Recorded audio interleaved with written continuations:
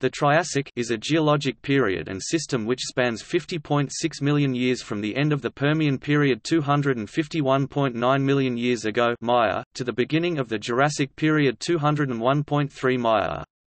The Triassic is the first and shortest period of the Mesozoic era. Both the start and end of the period are marked by major extinction events. Triassic began in the wake of the Permian-Triassic extinction event, which left the Earth's biosphere impoverished. It was well into the middle of the Triassic before life recovered its former diversity. Therapsids and archosaurs were the chief terrestrial vertebrates during this time. A specialized subgroup of archosaurs, called dinosaurs, first appeared in the late Triassic but did not become dominant until the succeeding Jurassic period. The first true mammals, themselves a specialized subgroup of therapsids, also evolved during this period, as well as the first flying vertebrates, the pterosaurs, who, like the dinosaurs, were a specialized subgroup of archosaurs. The vast supercontinent of Pangaea existed until the mid-Triassic, after which it began to gradually rift into two separate landmasses, Laurasia to the north and Gondwana to the south. The global climate during the Triassic was mostly hot and dry, with deserts spanning much of Pangaea's interior. However, the climate shifted and became more humid as Pangaea began to drift apart. The end of the period was marked by yet another major mass extinction, the Triassic-Jurassic extinction event, that wiped out many groups and allowed dinosaurs to assume dominance in the Jurassic. The Triassic was named in 1834 by Friedrich von Alberti, after the three distinct rock layers tri meaning three, that are found throughout Germany and northwestern Europe. Red beds, capped by marine limestone, followed by a series of terrestrial mud and sandstones—called the Trias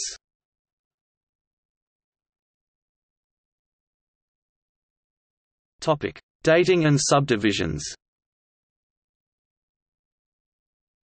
The Triassic is usually separated into early, middle, and late Triassic epochs, and the corresponding rocks are referred to as lower, middle, or upper Triassic. The faunal stages from the youngest to oldest are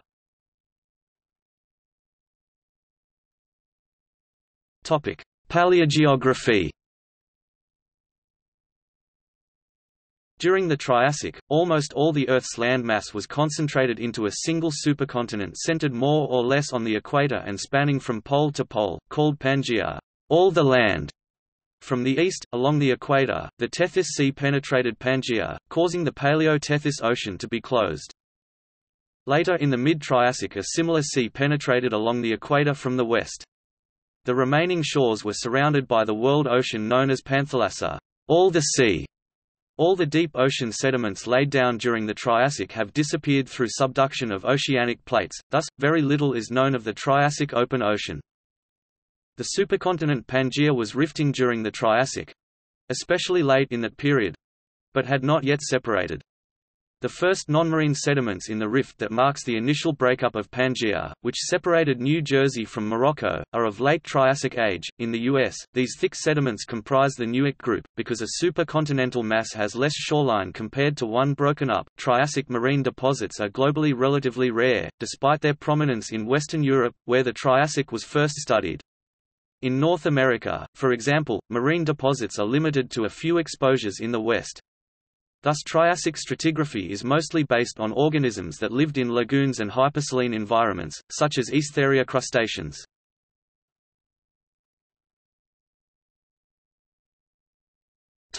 Africa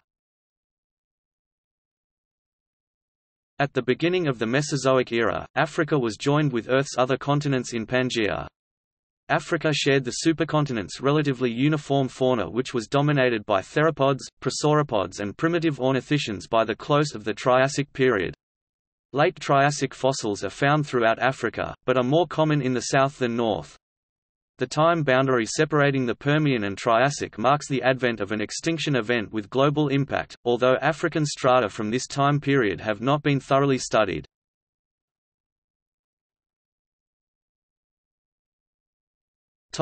Scandinavia During the Triassic peneplains are thought to have formed in what is now Norway and southern Sweden. Remnants of this peneplain can be traced as a tilted summit accordance in the Swedish west coast. In northern Norway Triassic peneplains may have been buried in sediments to be then re-exposed as coastal plains called strandflats. Dating of illite clay from a strandflat of Bømlo, southern Norway, have shown that landscape there became weathered in late Triassic times c. 210 million years ago with the landscape likely also being shaped during that time.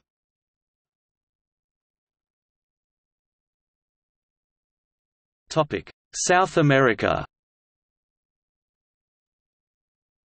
At Paleorrota Geopark, located in Rio Grande do Sul, Brazil, the Santa Maria Formation and Caturita formations are exposed.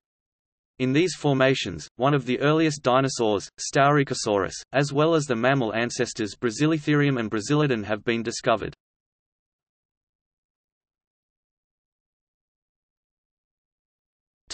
Climate The Triassic continental interior climate was generally hot and dry, so that typical deposits are red bed sandstones and evaporites. There is no evidence of glaciation at or near either pole, in fact, the polar regions were apparently moist and temperate, providing a climate suitable for forests and vertebrates, including reptiles. Pangaea's large size limited the moderating effect of the global ocean, its continental climate was highly seasonal, with very hot summers and cold winters.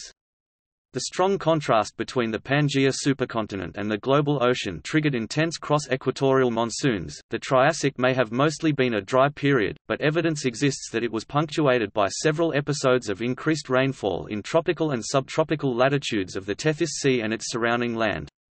Sediments and fossils suggestive of a more humid climate are known from the Anisian to Ladinian of the Tethys domain, and from the Carnian and Rhaetian of a larger area that includes also the Boreal domain e.g., Svalbard Islands, the North American continent, the South China Block and Argentina.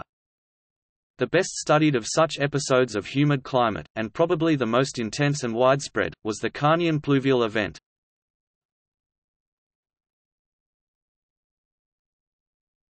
Topic: Life Three categories of organisms can be distinguished in the Triassic record, survivors from the Permian-Triassic extinction event, new groups which flourished briefly, and other new groups which went on to dominate the Mesozoic era.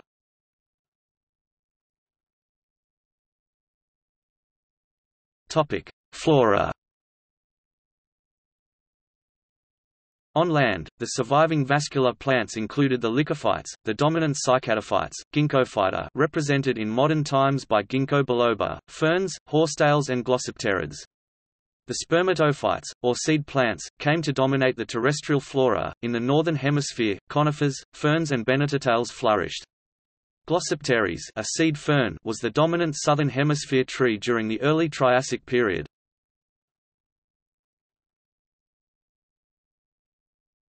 Topic: Plankton.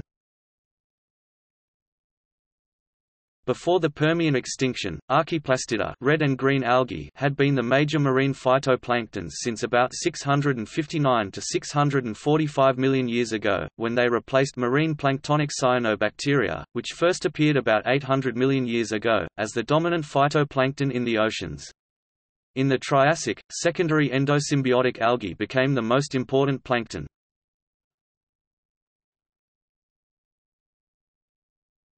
Topic: Marine fauna. In marine environments, new modern types of corals appeared in the early Triassic, forming small patches of reefs of modest extent compared to the great reef systems of Devonian or modern times. Serpulids appeared in the Middle Triassic. Microconchids were abundant. The shelled cephalopods called ammonites recovered, diversifying from a single line that survived the Permian extinction. The fish fauna was remarkably uniform, suggesting that very few families survived the Permian extinction. There were also many types of marine reptiles. These included the Sauropterygia, which featured Pachypleurosaurus and Nothosaurs both common during the Middle Triassic, especially in the Tethys region, Placodonts, and the first plesiosaurs. The first of the lizard-like Thalattosauria and the highly successful ichthyosaurs, which appeared in early Triassic seas soon diversified, and some eventually developed to huge size during the late Triassic. Subequatorial saurichthyids have also been described in early Triassic strata.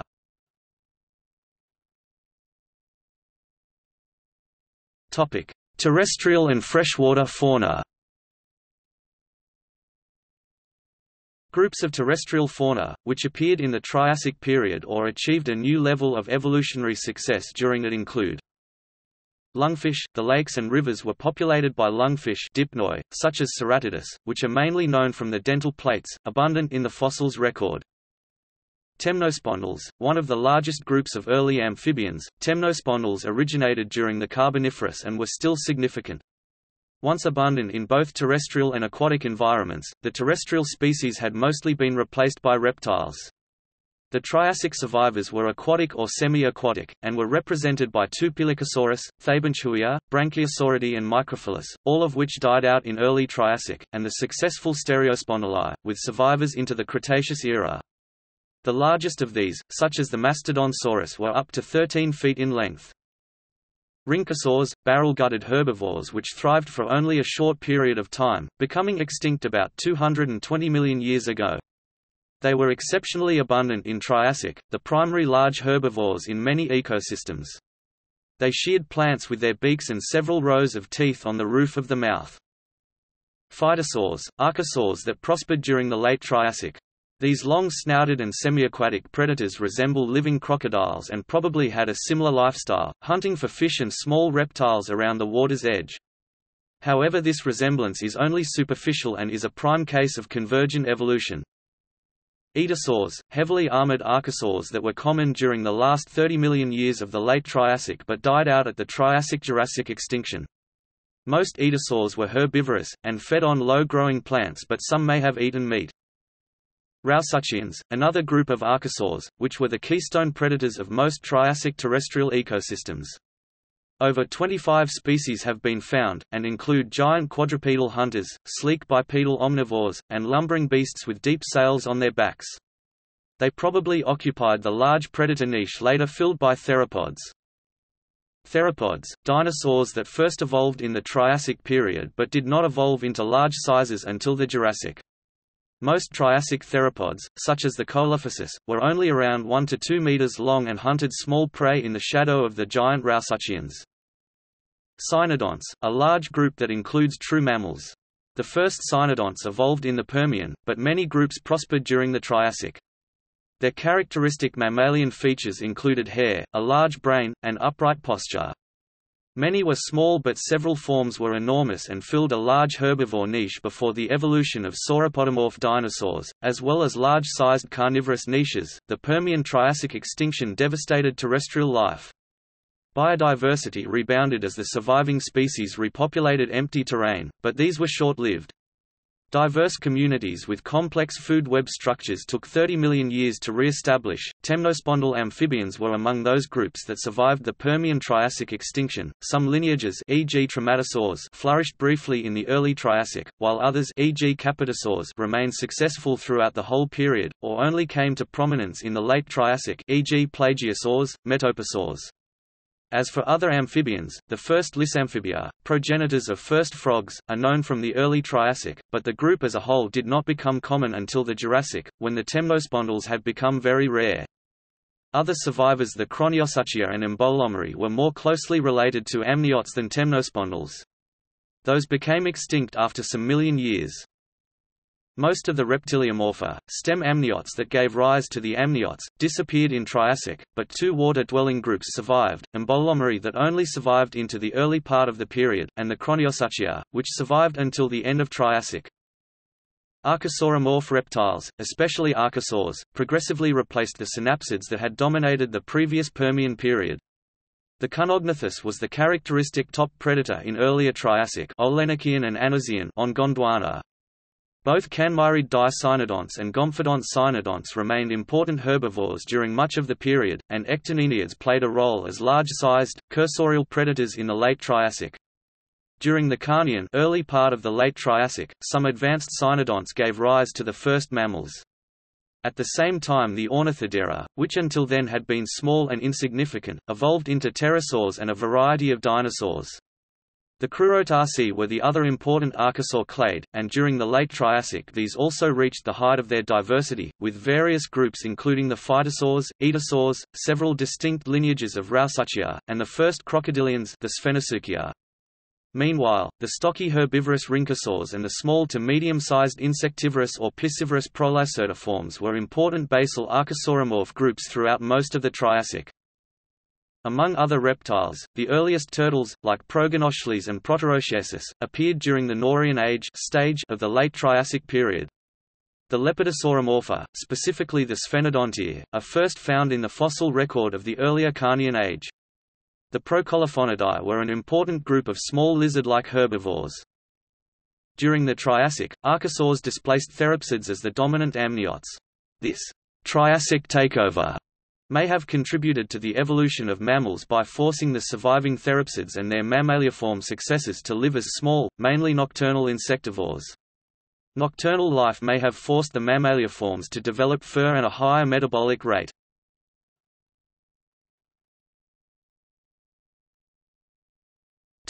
Coal No known coal deposits date from the start of the Triassic period, this is known as the coal gap and can be seen as part of the Permian-Triassic extinction event. Sharp drops in sea level at the time of the Permo-Triassic boundary may be the best explanation for the coal gap. However, there is still speculation as to why it is missing. During the preceding Permian period the arid desert conditions contributed to the evaporation of many inland seas and the subsequent inundation of those areas, perhaps by a number of tsunami events that may have been responsible for the drop in sea level. Large salt basins in the southwest United States and a very large basin in central Canada are evidence of this. Coal of Triassic age is made of the fossilized remains of Triassic plants and trees. Conifers became common in Eurasia and Australia which contained a few species with a lycopod herbaceous understory. These groups of conifers arose from endemic species because of the ocean barriers that prevented seeds from crossing for over 100 million years. For instance, Podocarpus was located south, and pines, junipers, and sequoias were located north. The dividing line ran through the Amazon Valley, across the Sahara, and north of Arabia, India, Thailand, and Australia. It has been suggested that there was a climate barrier for the conifers, although water barriers are more plausible. If so, something that could cross at least minor water barriers must have been involved in producing the coal hiatus. Hot climate could have been an important auxiliary factor across Antarctica or the Bering Strait, however. There was a spike of fern and lycopod spores immediately after the close of the Permian. There was also a spike of fungal spores immediately after the Permian-Triassic boundary. This spike may have lasted 50,000 years in Italy and 200,000 years in China and must have contributed to the climate warmth. An event excluding a catastrophe must have been involved to cause the coal hiatus because fungi would have removed all dead vegetation and coal-forming detritus in a few decades in most tropical places. In addition, fungal spores rose gradually and declined similarly along with a prevalence of woody debris. Each phenomenon would hint at widespread vegetative death. Whatever the cause of the coal hiatus, it must have started in North America approximately 25 million years sooner.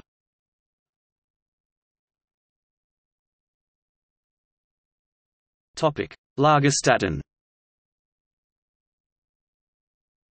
The Monte San Giorgio Lagerstätte, now in the Lake Lugano region of northern Italy and Switzerland, was in Triassic times a lagoon behind reefs with an anoxic bottom layer, so there were no scavengers and little turbulence to disturb fossilization, a situation that can be compared to the better-known Jurassic Solnhofen limestone Lagerstätte. The remains of fish and various marine reptiles including the common Pachypleurosaur Neusticosaurus, and the bizarre long-necked archosauromorph Tanystropheus, along with some terrestrial forms like Ticinosuchus and Macrocnemus, have been recovered from this locality. All these fossils date from the Anisian, Ladinian transition about 237 million years ago.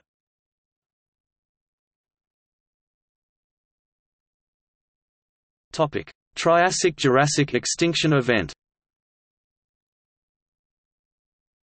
The Triassic period ended with a mass extinction, which was particularly severe in the oceans. The conodonts disappeared, as did all the marine reptiles except ichthyosaurs and plesiosaurs. Invertebrates like brachiopods, gastropods, and mollusks were severely affected. In the oceans, 22% of marine families and possibly about half of marine genera went missing.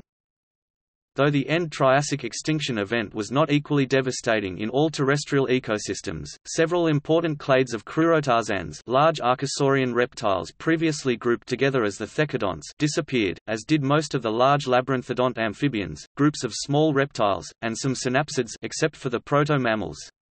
Some of the early, primitive dinosaurs also became extinct, but more adaptive ones survived to evolve into the Jurassic.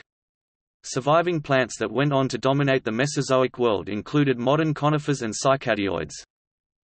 The cause of the late Triassic extinction is uncertain. It was accompanied by huge volcanic eruptions that occurred as the supercontinent Pangaea began to break apart about 202 to 191 million years ago 40 R, 39 R dates, forming the Central Atlantic Magmatic Province CAMP, one of the largest known inland volcanic events since the planet had first cooled and stabilized.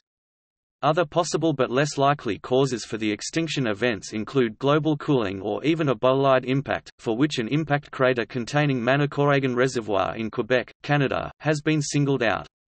However, the Manicouagan impact melt has been dated to 214 plus or minus 1 Mya. The date of the Triassic-Jurassic boundary has also been more accurately fixed recently, at 201.3 Mya. Both dates are gaining accuracy by using more accurate forms of radiometric dating, in particular the decay of uranium to lead in zircons formed at time of the impact. So, the evidence suggests the Manicouagan impact preceded the end of the Triassic by approximately 10 plus or minus 2 Ma. It could not therefore be the immediate cause of the observed mass extinction. The number of late Triassic extinctions is disputed. Some studies suggest that there are at least two periods of extinction towards the end of the Triassic, separated by 12 to 17 million years. But arguing against this is a recent study of North American faunas. In the petrified forest of northeast Arizona there is a unique sequence of late Carnian early Norian terrestrial sediments. An analysis in 2002 found no significant change in the paleoenvironment. Phytosaurs, the most common fossils there, experienced a changeover only at the genus level, and the number of species remained the same. Some aetosaurs, the next most common tetrapods, and early dinosaurs, passed through unchanged. However, both phytosaurs and aetosaurs were among the groups of archosaur reptiles completely wiped out by the end Triassic extinction event. It seems likely then that there was some sort of end Carnian extinction, when several herbivorous archosauromorph groups died out, while the large herbivorous therapsids—the Kannemeyeriid dicynodonts and the Traversodont cynodonts—were much reduced in the northern half of Pangaea Laurasia. These extinctions within the Triassic and at its end allowed the dinosaurs to expand into many niches that had become unoccupied. Dinosaurs became increasingly dominant, abundant and diverse, and remained that way for the next 150 million years. The true Age of Dinosaurs is during the following Jurassic and Cretaceous periods, rather than the Triassic.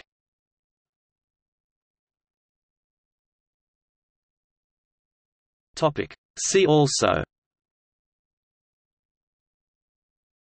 Geologic time scale List of fossil sites with link directory. Filiceratina Dinosaurs. Notes